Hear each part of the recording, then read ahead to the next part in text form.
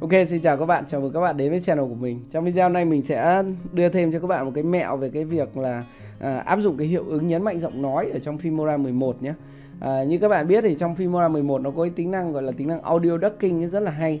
Tức là bạn à, có cái video mà bạn nói ấy, thì bạn khi bạn nhấn mạnh ấy thì nó sẽ à, làm nhỏ cái um, tiếng của các cái clip khác, tức là của các cái audio track khác ở trên timeline ấy. Nhưng mà nó phát sinh một vấn đề là nếu như mà bạn à, tức là nếu như mà bạn muốn dùng cái hiệu ứng âm thanh ấy thì nó lại cũng nhỏ luôn. À, thì đây là cái giải pháp nhé. Video này sẽ là cái giải pháp cho cái cái việc là bạn à, cùng muốn nhấn mạnh giọng nói và muốn thêm hiệu ứng âm thanh và có cả nhạc nền các thứ ở trong Filmora 11 ok nhé Filmora 10 các bạn cũng làm được tương tự như thế nhé. À, đây là màn hình của mình nhé. À, ví dụ đây là cái dự án mới nhất mình làm nhé. Như các bạn nhìn thấy ở đây mình có à, thứ nhất là cái video này. Video này có tiếng này. Sau đấy ở đây có mấy cái sound effect này à, ở dưới cùng này mình có một cái file audio tức là cái uh, nhạc nền. À, đây thực ra cái timeline này nó rất là dài nhưng mà mình chỉ chỉ cho các bạn ở phần đầu thôi.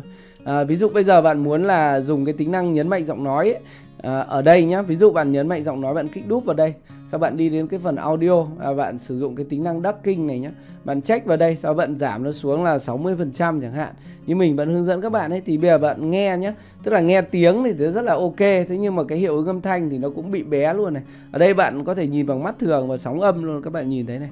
Để mình kích vào ok mình nghe lại cho các bạn xem nhé Ok chào các bạn. Xin chào các bạn. Chào mừng các bạn đến với channel của mình trong video này mình sẽ đấy thì các bạn có thể nghe được là cái tức là cái giọng của mình thì nó to nhưng mà cái ờ, các cái hiệu ứng âm thanh ấy thì nó rất là nhỏ.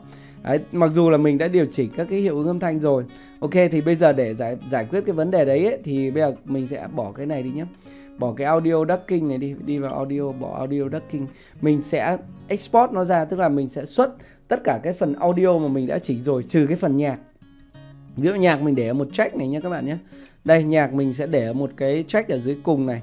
Thì bây giờ bạn à, ấn nút này nhé ấn mute cái phần nhạc này đi. Sau đó bạn xuất bản tất cả cái này ra. Xuất bản tất cả các cái gọi là tiếng tùng các thứ ở trong này đi kể cả gọi là uh, sound effect các kiểu ấy. À, để mình xem lại lúc nãy một cái phần sound effect. Rồi ok. Lúc nãy mình bỏ audio ducking đi nó đã to trở lại rồi. Thì bây giờ bạn nhấn vào export nhé à, để xuất bản thì các bạn nhớ là các bạn phải có bản quyền của Filmora nhé. Bản quyền miễn phí hoặc là phải trả phí thì đều đều à, đều xuất bản video được. À, sau đó bạn ở phần này phần local này các bạn sẽ chọn MP3 nhé. Sau đây là cái phần này mình sẽ đặt là đăng video. À, audio. Ok à, nó sẽ xuất rất là nhanh thôi tại vì có mỗi phần tiếng thôi 13 phút. Ấn export.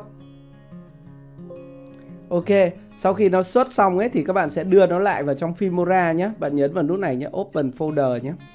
À, open folder đây là cái đăng video audio này. Thì các bạn kéo bạn thả nó vào trong cái media đây nhé media này. Đó rồi. Có một cái file đăng đăng video có audio ở đây rồi.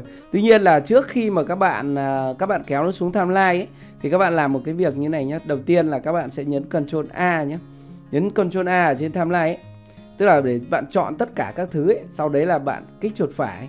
Bạn chọn là mute nhé tức là bạn tắt hết tiếng các thứ đi. Bạn không có ờ, dùng tiếng ở trên timeline nữa.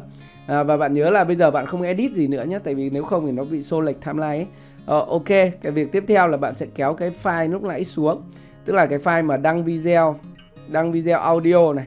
Bạn kéo xuống và bạn đặt nó ở ngay đầu timeline luôn nhé để mình sẽ kéo xuống đây xong mình chỉnh nó lại ở đầu timeline đặt ở đầu timeline. Bây giờ là cái tiếng này ấy tiếng này là cái tiếng của cả video luôn tất là bao gồm cả hiệu ứng âm thanh luôn các thứ luôn. Ví dụ mình sẽ play thử cho các bạn xem nhé. Từ đầu nhé. Ok chào các bạn. Xin chào các bạn. Chào mừng các bạn đến với channel của mình. Trong video này mình sẽ đấy nó sẽ có cả hiệu ứng các thứ. À, rồi tiếp theo là bạn sẽ bật cái nhạc nền đấy thì cái nhạc nền thì bạn à, giữ lại nhé. À, đây mình sẽ kích chuột phải để mình chọn mute nó đi mình dùng phím tắt luôn. À, bây giờ bạn chỉ dùng cái tính năng audio ducking thôi. Bây giờ có cái nhạc nền và có cái này rồi có cái tiếng uh, của video rồi. Thì bây giờ bạn kích đúp vào và bạn dùng cái tính năng ducking. Kích đúp và nhớ kích đúp vào cái mà video nhé. À, kích đúp vào cái audio đăng video audio ấy. Như cái bạn xuất ra ấy. sau bạn ấn vào nút này. À, ducking. Sau bạn chọn là 60 mươi. 60 hay là bao nhiêu ấy tùy bạn nó sẽ làm nhỏ cái nhạc nền đi. Bây giờ bạn sẽ nghe lại nhé đây là cái mà bản final mình up lên uh, YouTube. Các bạn nghe được đấy. Ok chào các bạn. Xin chào các bạn. Chào mừng các bạn đến với channel của mình. Trong video này mình sẽ uh, chia sẻ với các bạn ba lý do mà các bạn uh, đang ok đấy là cái uh, mẹo để dùng uh, tính năng nhấn mạnh giọng nói ở trong Filmora 11 mình hy vọng là video này hữu ích với các bạn ấy à, còn nếu như các bạn cảm thấy nó hữu ích thì các bạn có thể nhấn like à, comment và đăng ký kênh của mình. Và bạn nào thừa tiền thì bạn có thể ấn nút thanh ấy để tài trợ donate cho mình. Ok xin chào và hẹn gặp lại các bạn ở những video tiếp theo. Goodbye.